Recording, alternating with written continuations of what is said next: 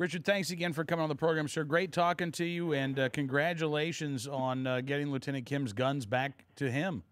Thank you. Uh, you know, I, I, know that you've uh, talked about this quite a bit, but the uh, the circumstances under which uh, Lieutenant Kim's firearms were seized, I think a lot of people, rightfully so, have a, a problem understanding how it is this decorated veteran uh, who was in Washington D.C. for a doctor's appointment of Walter Reed.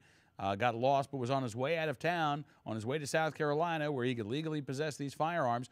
Ended up in jail, his his gun seized, and you know months and months uh, having to plead guilty to a misdemeanor. How on earth did this happen, Richard?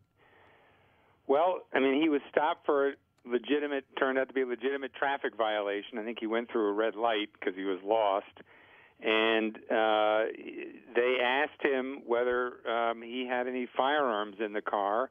And being an honest guy, he said, yes, he did. They were in the trunk because he believed, and quite correctly, that the guns were being transported lawfully through D.C uh, in compliance with with federal law and with D.C. law because the, all the guns were unloaded. They were all cased, um, and they were inaccessible to him from the passenger compartment of his vehicle. But the police um, arrested him nonetheless. They they originally also arrested him for having a uh, suspended driver's license. That turned out to be a clerical error in the files, and that was quickly taken care of but uh, they arrested him also for the for the firearms, which they alleged were not uh, properly were not registered, which of course they weren't because he didn't live in D.C. The problem was that the D.C. Police Department is for several years has been giving out incorrect information uh, about how people can transport firearms through the district, and it was only about two weeks ago that the uh, police website was finally corrected to get the law correct. And obviously, uh, the officers simply didn't know what the law was. They didn't know that his transportation was in compliance with the law, and um, so they arrested him and, and charged him with those violations. Wow! Uh, and it was only due to the I don't know if you the series of stories by Emily Miller. Oh yeah. Um, and her constant harping on uh, uh, City Council Judiciary Committee Chairman Mr. Mendelson about the errors that D.C. had on its website uh, about the law, and, finally, as I said, about two week only two weeks ago, they finally fixed the website and they finally fixed their handout information. So maybe now the DC police will know what the law is, but it's a disgrace that that they didn't know it, you know, two years ago. Uh, well, it absolutely is a disgrace, and, and you know, and the fact that.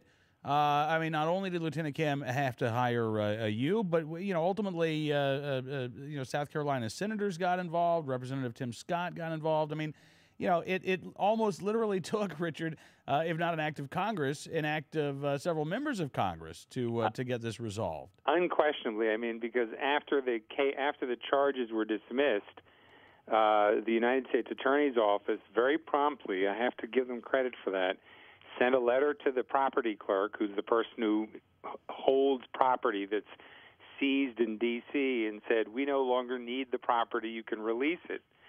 And I immediately wrote a letter to the property clerk and said, now that it, the United States Attorney has said you can release it, we want it back. And that was in June of 2011. Uh, and I got no response. I wrote them a second letter in December of 2011, got no response. It wasn't until the story broke in the Washington Times and, as you said, two senators and a congressman got involved that finally, after 11 months, the D.C. property clerk finally decided to get around uh, to doing what his duty under the law is, which is to hold hearings to determine whether he, property should be returned or not. And he had two letters from me in the course of that 11 months and did absolutely nothing. That is amazing. I mean, that, that's just so astounding. But this is, Rich, I mean, this is par for the course, it sounds like, in D.C. It is. This is this is the reality of what the D.C. gun laws are all about. I mean, Lieutenant Kim is the face of what gun laws really mean. This is who gets affected by it. Yeah. Not not the bad guy on the street who's you know, holding people up, or it's the it's the good guy like Lieutenant Kim, who's you know, good citizen, more than a good citizen. My gosh, he's served two tours in in uh, the Middle East, and he's going back to to Kosovo uh, in a month or two to serve yet a third tour. You know, he was injured in the line of duty, albeit fortunately not a combat injury, but but in the line of duty, and spent three months. He had to have half of his face rebuilt because of the, the severe injury that he suffered. And DC makes him go through this on top of everything else and and he's looking at he's got over eleven thousand dollars worth of property uh, of guns that they are, uh, were holding on to, which we hope by the end of this week they will be shipped out and he'll have them back. Well, let's hope. Uh, uh Richard, in the meantime, I appreciate uh, all of the work that you've done. And uh, again, thanks for coming on the show, sir. We really appreciate it. Glad to do it. Thanks for calling. You bet. Richard Gardiner, attorney representing Lieutenant Augustine Kim, joining us here tonight on Cam and Company.